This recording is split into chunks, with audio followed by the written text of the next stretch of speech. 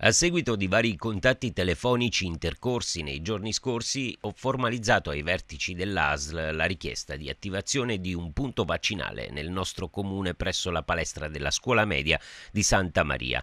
Lo ha dichiarato il sindaco facente funzioni Luisa Maiuri in un post su Facebook. Ieri mattina abbiamo effettuato un sopralluogo con il personale del distretto 70 dell'ASL di Salerno per verificare la possibilità della cosa.